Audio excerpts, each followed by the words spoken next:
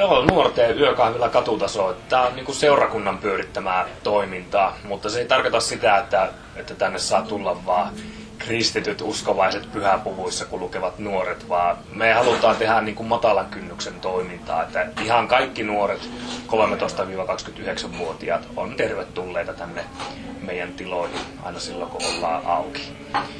Et tuota, sillä lailla on kuitenkin sellaisia rajoitteita, että me halutaan, että tämä on turvallinen tila, eli tämä on päihteetön tila, eli minkälaista humalatilaa tai niin kuin, on, on sitten jotain huumausaineita nauttinut, niin tänne ei silloin tulla sisälle.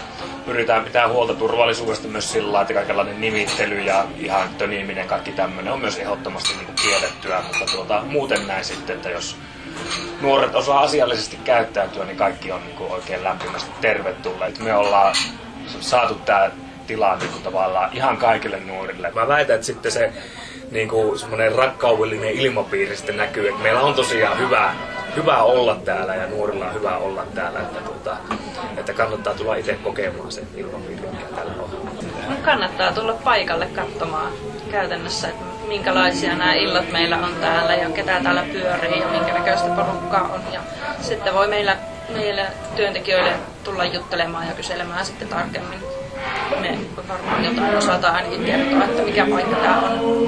Netistä meillä löytyy omat kotisivut www.katutaso.fi ja sitten Facebookissa ollaan myöskin, niin sieltä voi myöskin katella sitten. Ja siellä paljon ilmoitellaan kaikkea, että mitä meillä tapahtuu ja minkälaista toimintaa on tulossa ja näin. Niin sieltä löytyy hyvin näppärästi sitten tietoja.